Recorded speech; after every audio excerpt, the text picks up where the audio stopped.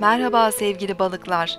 İçinize kapanma eğilimine girebilirsiniz. Zihninizde bazı şeyler dikkatinizi üzerine toplayabilirler ve günü kendi iç dünyanızda geçirebilirsiniz. Maddi konularda yeni planlamalar yapabilirsiniz.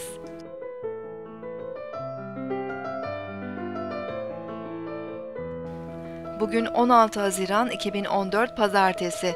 Ay günündeyiz. Kova burcunda ilerleyen ay güne özgür, sosyal ve idealist enerjiler veriyor. Geleceğe ait projeler, toplumsal konular, arkadaşlar ve grup çalışmaları ilgimizi daha fazla çekebilir.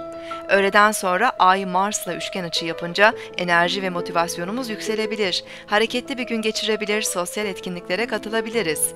Akşam saatlerinde Ay Uranüs olumlu açısı özgür ve yaratıcı enerjileri arttırdığında ilginç kavramlarla karşılaşmamız da mümkün.